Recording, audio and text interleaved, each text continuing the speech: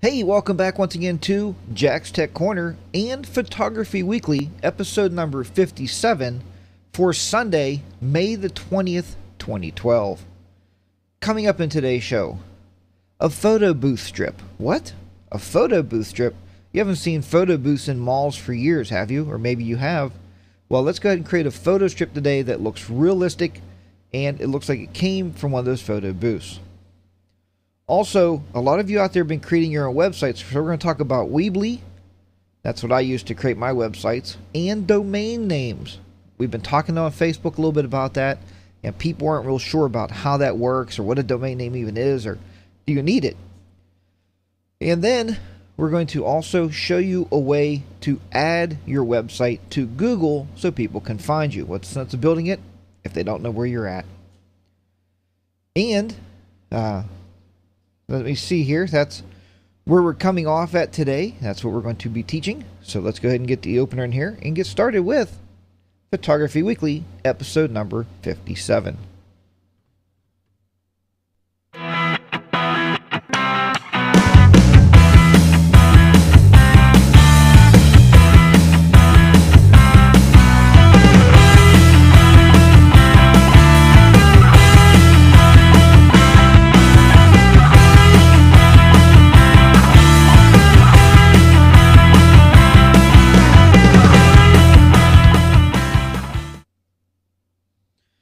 Okay, guys, I would also like to thank our sponsors for this week's show, and those sponsors are Weebly.com.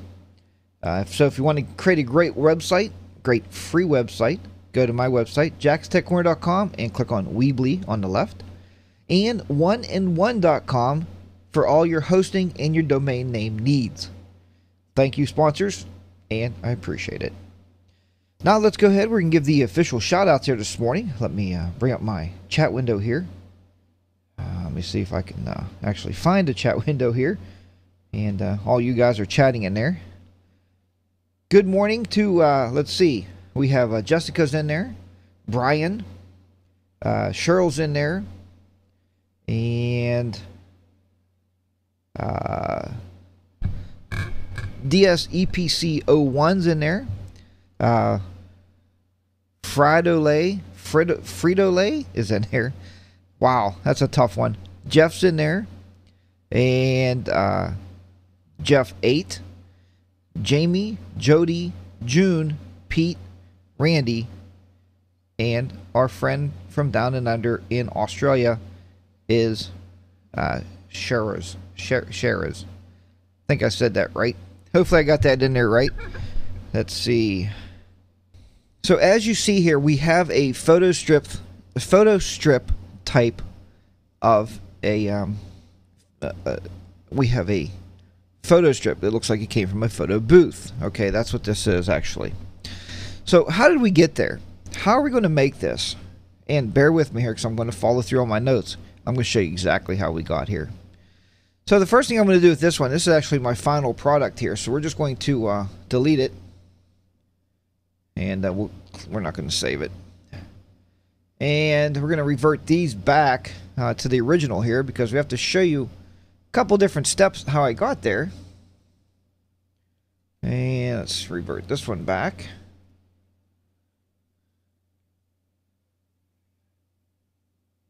And we'll revert this one back. Now what we're going to do is we are going to actually come in here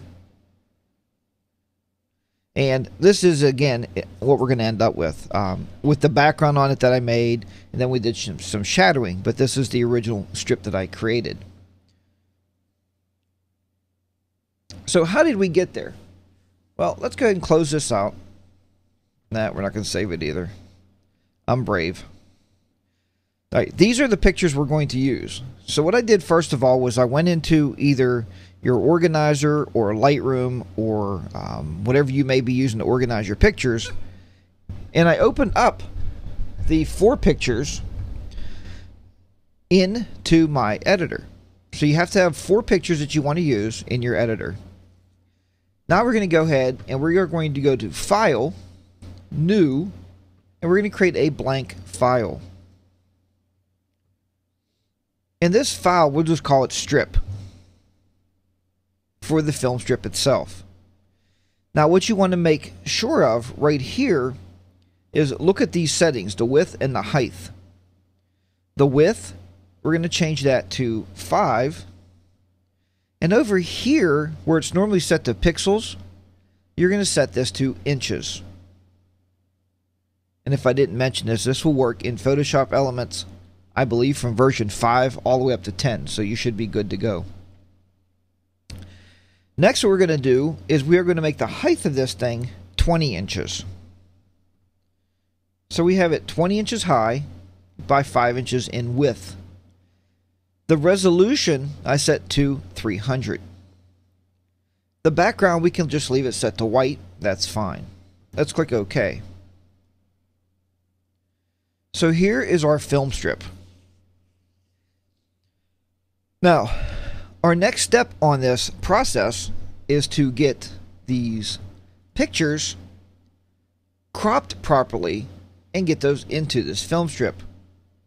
But now this is version 10, and in version, I believe it was version 8, they started with putting these tabs up here along the top. And it gets very hard to, to do these pictures because of these things being in tabs. You have to switch and copy and paste, and I don't like to do that. So let's go ahead and set your elements up first to make it really easy to uh, make this happen. Let's go up to your, if you're on a Mac, it's it's under the uh, Adobe Photo Elements Editor and then Preferences and General. If you're on Windows, go under Edit. So yours will be under Edit and Preferences will be down here at the bottom. Let's go up here. And we're going to go to General. And right here under General, you are going to find where it says Allow Floating Documents in Full Edit Mode. We want these documents to float. And a document is a picture. I don't know why they call it documents. They should call it a picture or a file. Just click that on and click OK. Now we don't have to close it or do anything fancy to it, but we can start dragging these pictures. Click on the tab up here. Watch and just drag it in.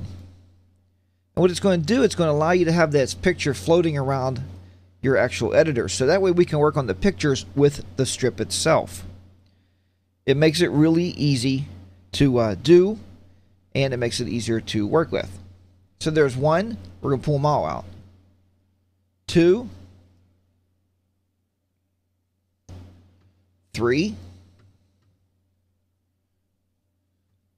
and there's my fourth picture. Actually, you see they kind of stuck together there. It's pulled over here. There. So this is my four pictures. Now, you're saying, Jack, why on earth did you do that? That's kind of ridiculous. Well, because now we don't have to operate on those tabs and go back and forth and everything there and work on those different tabs. We can actually do everything together with, with the actual strip right in front of us. And I kind of like that. Now, the next thing we have to do is we're going to crop these images down. Now to make it easy on you and to make it so you don't have to guess, we're going to set our crop tool to a certain height and a certain width. So we'll click on crop tool. And up here, we're going to set our width to 5. And if inches is not in there, type in IN. So here, let me do this for you. 5 space IN. And the height we're going to do the height the same way 5 space IN for inches. Next, the resolution, again, set that to 300 and it's set to pixels. Now, why did we do that? And I know everybody out there is stating that right now and play in the chat room. They're saying, wow, why is Jack doing that? That doesn't make a whole lot of sense.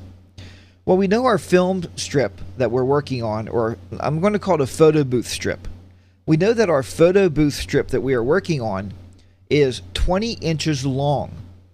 So if we crop these things to 5 inches high, we can fit four photos on there. So now it's making sense to you, right? It's very easy to do that. So let's go ahead and start cropping these pictures and putting them into our photo booth strip. So our crop tool is selected. And what it's going to do here, we're restricting the aspect ratio. So when we go to crop, it knows look, I can't pull it any bigger because it knows what we want. It knows that we want that 5 by 5. And if you pull it down, it's going to make it a little wider. Pull it up. But you want that 5 by 5 is what you're going to crop. So you find out what you want to crop. And once you have her cropped out, then click the Move tool. Click on that picture and just move it over and place it on your photo strip.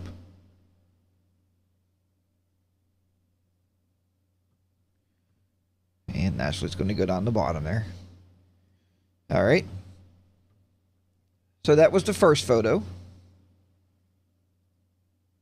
This is the second photo. We're going to do the same thing. Use the crop tool.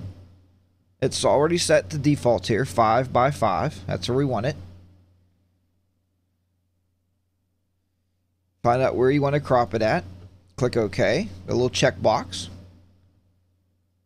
Let's do the move tool again. Pull it over. Drop it. And you can see where it's going 5 inches across by 5 inches high. Pull it up and snap it to your other one. There you go. Let's do the next picture here. Well, this picture looks like we already cropped that one. Oops. This is the one we want. So this picture, we're going to do this one next. Again, we'll use the crop tool. We're going to crop this one out. Pull it to where you want it. Click the little checkbox. Click the move tool, which is at the top there. It says move. Pull it over. And put it on our film strip. Pull it down to place. And then the last one here is this one on the swing. I pulled over so I can see a little bit more of it.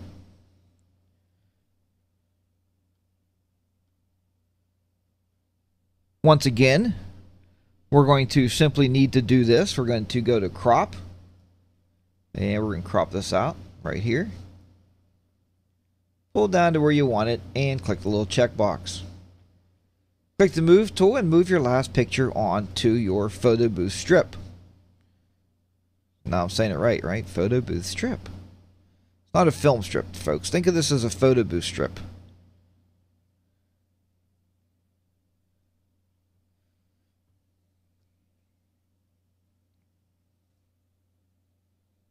I really don't want that white in there. I want that closed up. That little gap right there needs to be closed. There we go. And I'm just going to fill this in down here just by it down just a little bit. And we'll click the checkbox. So now what happened there, if you've noticed, over on your layers panel over here on the side, we now have multiple layers. So we have all these different layers in here. And these layers are making up all these pictures right here with the background. Now, we are going into where we are going to actually take these layers with this layer and we're going to go ahead and we are going to take those and I'm just double checking my notes now because this is a pretty lengthy uh, tutorial here.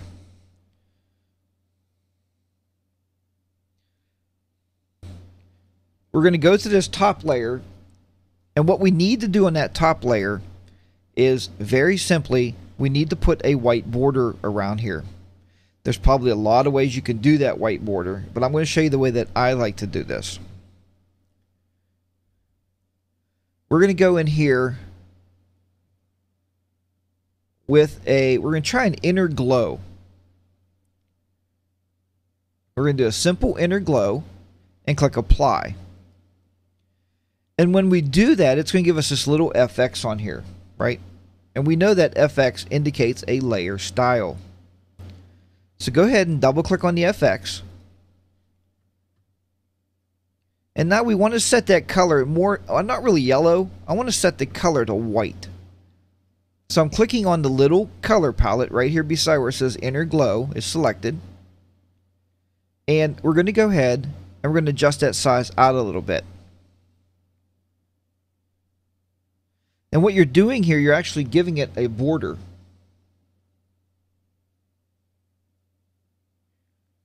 You want to make it realistic without making it look too much like a vignette. And then click OK. Now, once you have that border selected like that and that's done, you can go and you can add the border to each one of these other layers.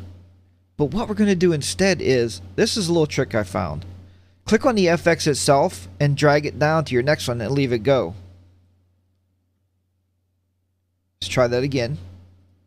Click on the FX and drag it down.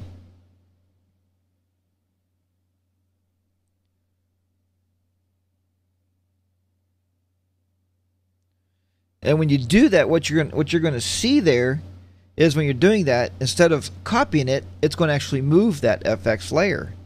So here's the shortcut key you have to remember. Hold your Alt key down, click on it, and pull it down. Now what you're going to do is you're going to see that it's going to go ahead and copy that style to the next layer down. Do it again. And we're going to do it again.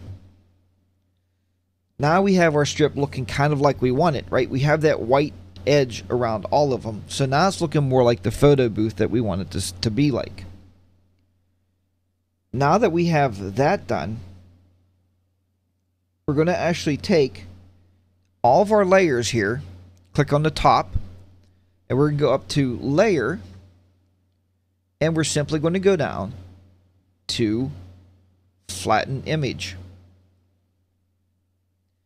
And when you do that, now it's going to make one film strip. Uh, I'm again, I'm saying film strip. One photo booth strip. So it's making one photo booth strip that we are going to use now to put on that new background.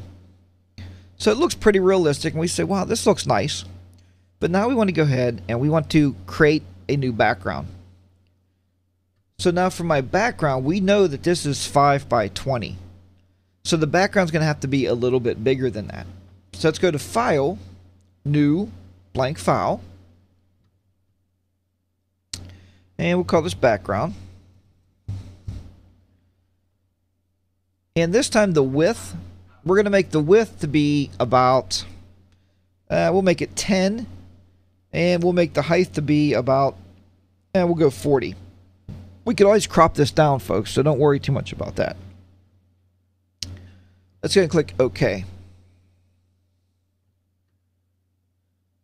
And if you see this new file here, you say, well, that really doesn't look wide enough. I don't like that. So I'm going to close. I'm going to just kick that off and go File, New Blank File again.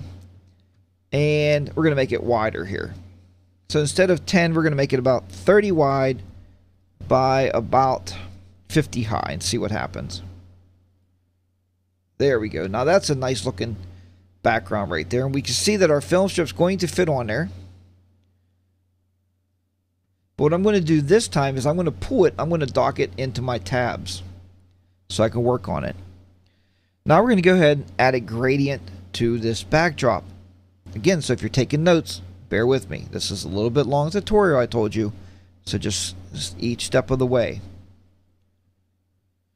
Click on our gradient tool. Now, how do you change the gradients? You know, up here there's there's a default set of gradients that kind of stink. I don't see where they're that great. So what we're going to do is we're going to build our own gradient. So first pick your foreground color. I'm going to pick the little bit lighter blue for the foreground. And then if you click on the black or the background, we'll go back to blue here and pick something a little darker for the background. And click OK. All right. Now that's our gradient. All right, so it's very easy to make your own gradient. Now you just have to decide how you want it to be laid on there. You want a uh, linear gradient. So you can either have a linear, a radial gradient. I kind of like that the most. An angle, a reflected, or a diamond. Let's go with the radiant. That's what I like. You can do whichever ones you want. And just drag from one side and just pull up.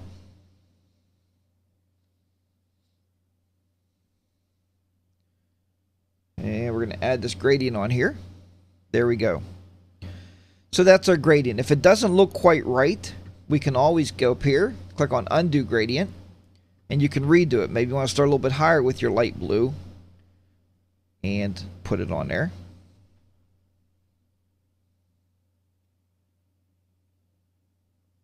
All right. Once we have that done, now we're ready to go ahead and add our films or add our photo booth strip to our background. So click on the tab up here, go back to our photo booth strip. We're going to click on select all, edit, we're going to copy it.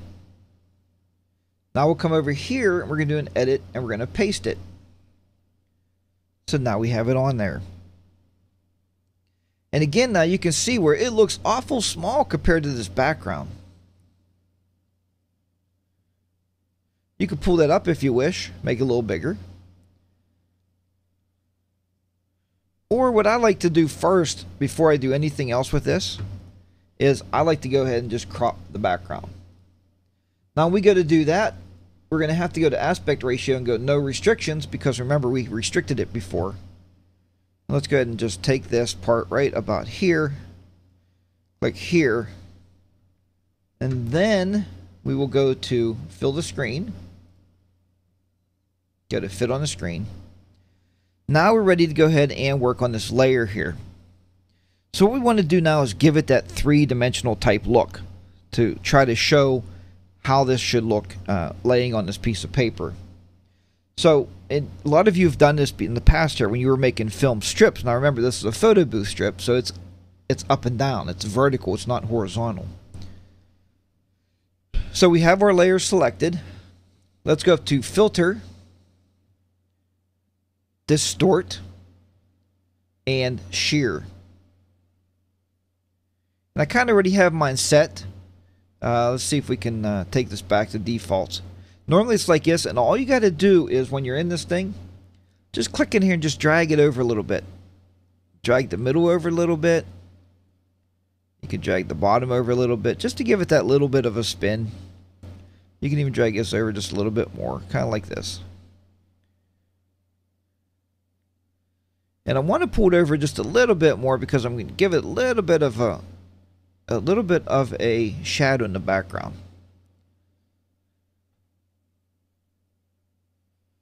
So there we have that. That's going to go ahead and apply itself. And now we have that little bit of a distortion. You can see it there. Now with that distortion done, our next thing we need to do is we're going to go ahead and we're going to add a shadow to that. Now this is a neat trick that I picked up this week. Uh, I think you're going to enjoy this little trick. It makes it a little bit easier to create this shadow effect. And we're going to go ahead and create a new uh, layer. So let's do that. New layer. I'm put this up on top of this layer. This layer is in the middle. We're going to click on that layer. And what we're going to do now is come over Click back on your default foreground and background colors and make the foreground color black.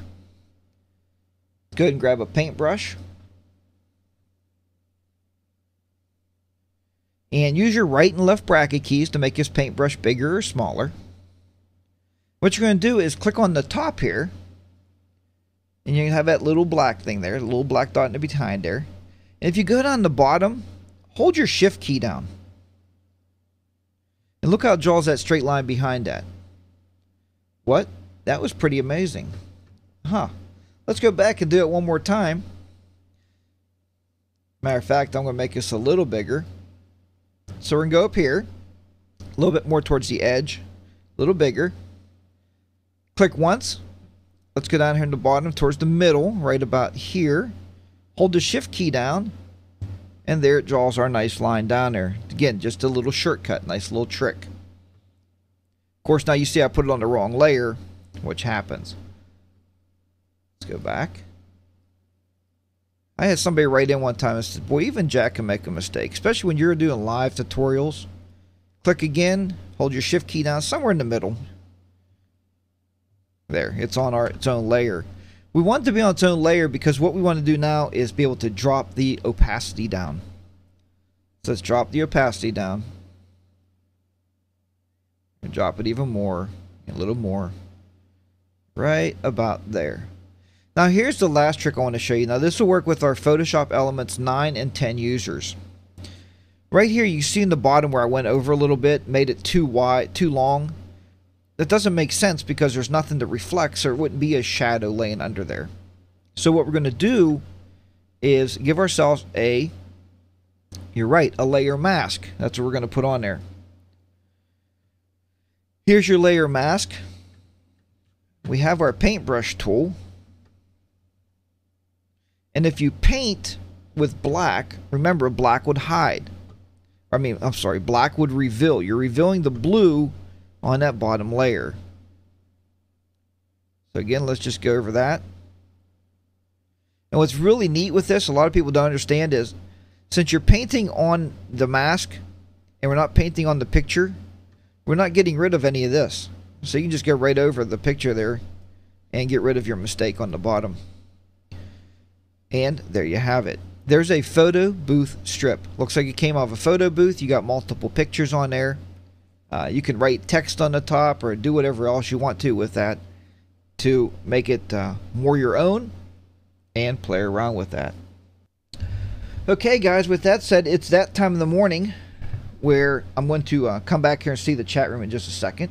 But right now, we're going to top off the coffee cup, uh, play our little sponsors ads there. We're going to get those out to you guys uh, this morning. And I'll be right back with domains, websites, domain names, and adding yourself to Google. See you back here in just uh, about three minutes. Okay, everyone, thank you for letting me take a few minutes of your time here to introduce our sponsors to you and to make sure that we still have that great relationship between you, myself, and our sponsors so everybody can benefit and you can benefit in the end with some savings. First, let me introduce to you really quick Lightroom for Learning. It's a brand new DVD I have that just came out. It's me, I created it, I produced it, I recorded all the videos and that DVD is now available. It's called Lightroom for Learning. Or if you can't wait for the DVD to be shipped to your house, I got you covered. Also, if you want to save a little bit of shipping, click on Online Class, and right here in the bottom it says Introducing Learning Lightroom 4 for All. Now, there's the uh, introduction right there. Just click here, and you'll go into the online class. All it is is you sign up. It's a self sign up you just pay the fee through PayPal and you're ready to go. There's 32 easy to follow videos. I take you from A to Z in Lightroom. So if you think that you're going to be using Lightroom, or if you have Lightroom 4 and you're scratching your head trying to figure it out, now's the time to go ahead and learn that. So now we're going to get to that part. I know a lot of you have been creating your websites there with um, uh, Weebly. I know that's where mine is. I've been telling people to go there. It's very easy to do. Um, I've used to do a lot of website programming uh, years ago, and when I started website programming, I mean we were doing it in, in a text editor. There was no WYSIWYGs or what? What's a WYSIWYG? Uh, not to get too in depth here, but a WYSIWYG is what you see is what you get. That's what a WYSIWYG is, uh, and um, basically it's just an easy way to do your uh, editing. So the reason I wanted to show you this and how does it relate to pictures? Because a lot of you are creating these websites to put your pictures on a picture site. So I wanted to show you that and show you how we would do that with your pictures. So hopefully everybody will hang in there with me for this part of the segment. Uh, some of you might be saying, Jack, this isn't photo editing. Uh, we'll see you. Have a good day. We're out of here.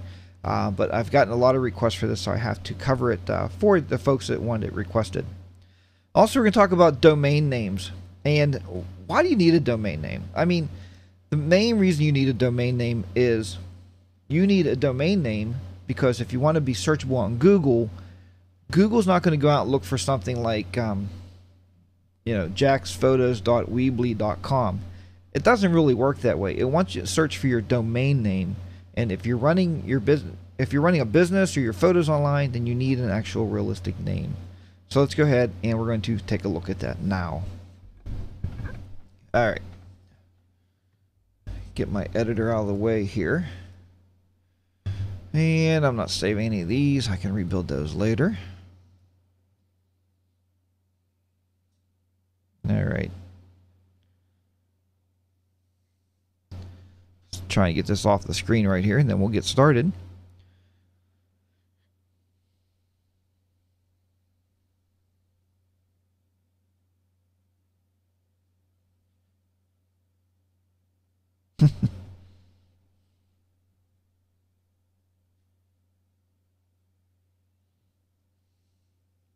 yeah, I think we've all forgotten usernames and passwords at one time or another, so well, hopefully Kevin's watching. Uh, looks like Jessica fell again. I don't know if she was having trouble or not uh, this morning. You need password buddies. it makes it a little bit easier to have a password buddy. All right. So, let's go here. And we're going to go to my desktop. We're going to go to the main screen here. And we'll, no, not full screen. We're going to select an area here so you guys can see it a little easier. And bring this up here. I'm going to show you how this works and how we put all this together. And uh, we'll show, we're done selecting, we'll show mouse pointer. All right.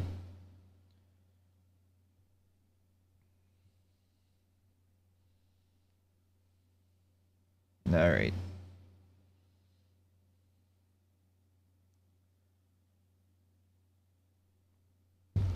Okay, so here we are. We're going to get started.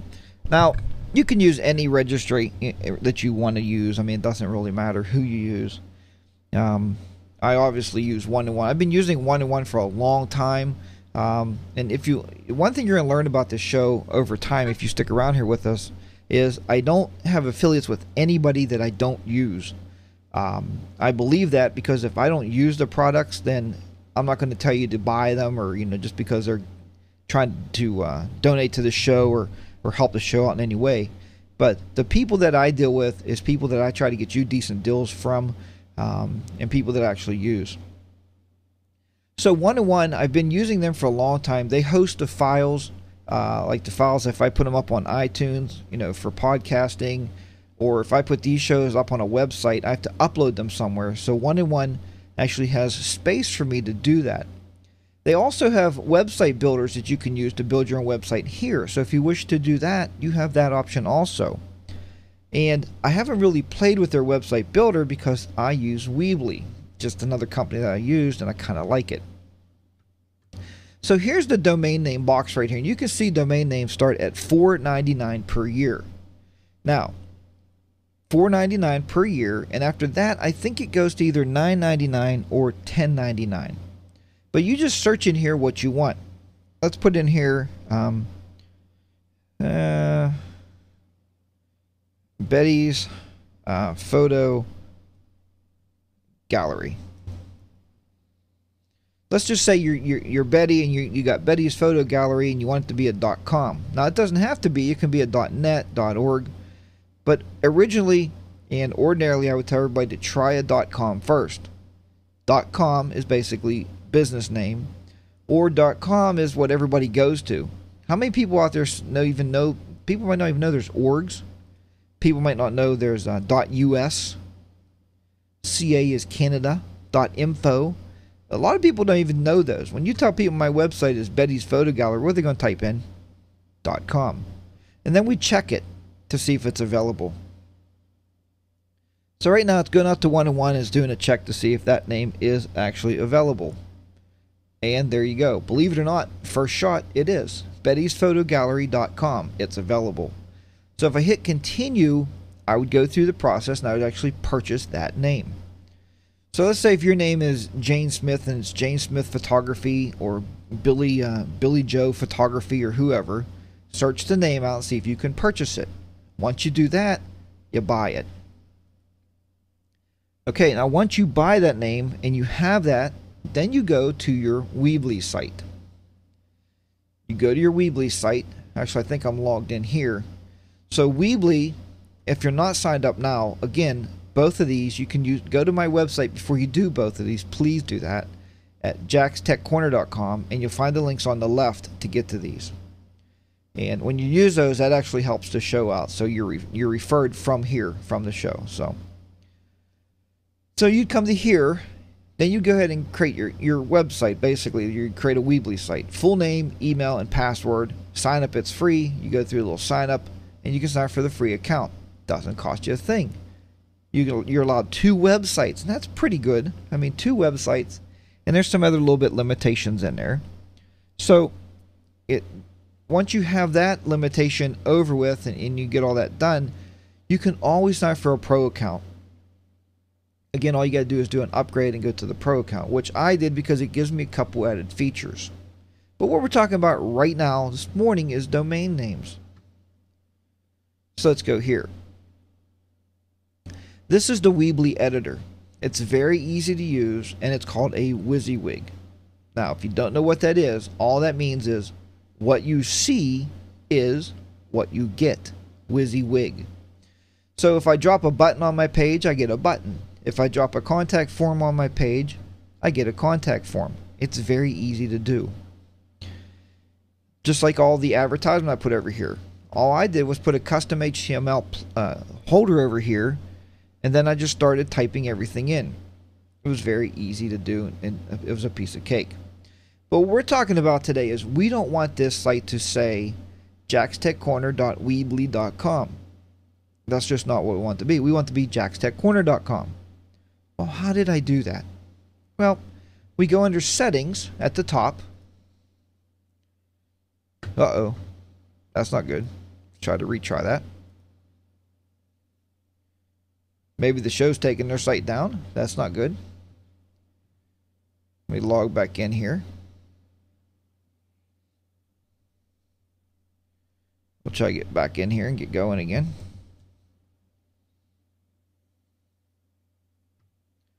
All right, we'll go to edit site.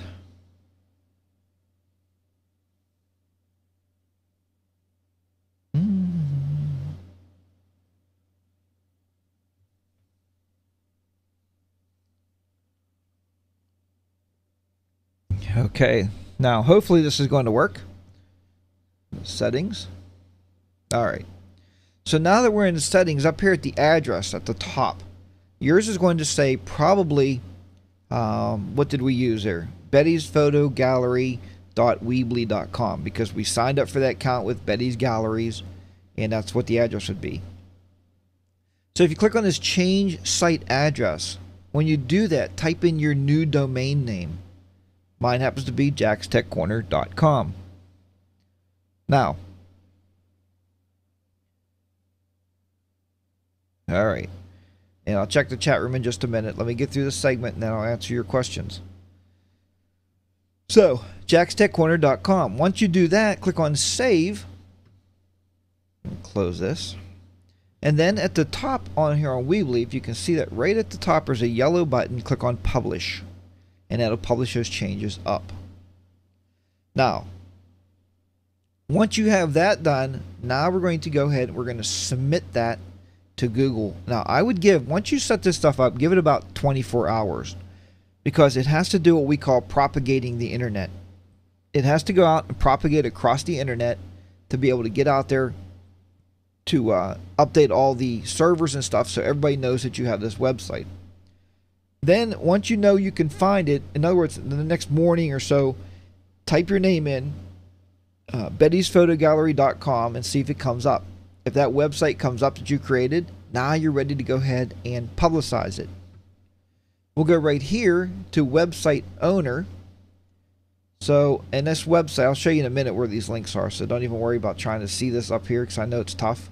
It's google.com slash submit your content slash website owner, whatever. Add your URL here. You'll sign in, so you have to have a, you know, you probably have a Google account anyway. I'm sure if you have YouTube videos or a Gmail account, you have a Google Google account. So just log in, and then go ahead and you're going to publish your website. All it's going to ask you is for your domain name. You click on it, and it'll go out and start searching around the internet for the information for your domain name. And uh, once it finds all your information, it'll make it searchable for people. Now, there's drawbacks. Here's some drawbacks about this. One, as soon as you get it, put it in there, and I know you're to do like I did the first time. I did a Google search, like, why is it not coming up? Another Google search, why is it not coming up? It's based on ratings. The more people that go out there and hit your link and hit your link and hit your link, the more you're going to move up in ratings and get higher page ratings. So that would put you more to the top. So you're going to be in there somewhere. Uh, the way I do it is I just search for my actual name, Jack's Tech Corner, and usually throws me right into my page. Uh, so just to make sure it is searchable. Now, with that said, that will get you all going. Let's go back to my page because I'm going to show you that I made this very easy today for you guys. So here's my page under the home button here at the top. There's a thing that says show notes. Click on that. And right here I have those steps for you right here under photography weekly number 58. I got the web hosting here. If you click on there, you can buy your domain name. And then you'll go ahead and you'll go to your Weebly site or just go to Weebly itself and set up your Weebly site. And then after 24 hours, click on this link and go into Google and go ahead and add your web pages or add your domain name so it can be searchable. So there you go. It's under Photography Weekly number 58 under our show notes, which I know I haven't been keeping up on, but I'm trying to do my very best there. Okay, with that said, I'm going to just see if there is any uh, questions here in the chat room. And at the same time, we are going to go ahead and we are going to open up our Skype. And we'll put the number up here. And we'll see if we get any Skype callers this morning.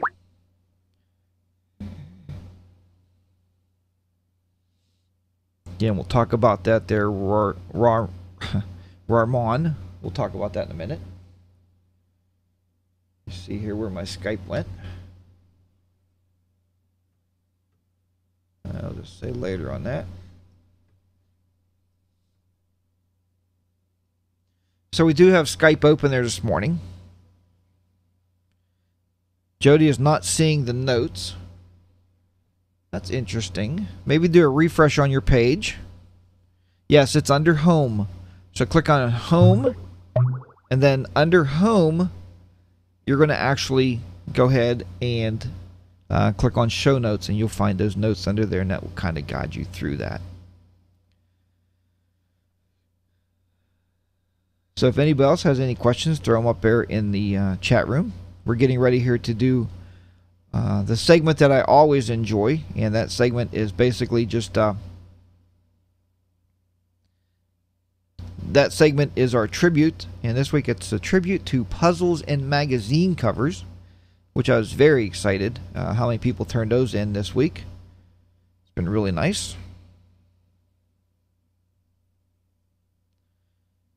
And uh, Serena there is talking about her uh, website was not coming up, only your business Facebook. Facebook will because Facebook, it's always facebook.com slash netart page, whatever our pages are set to. So um,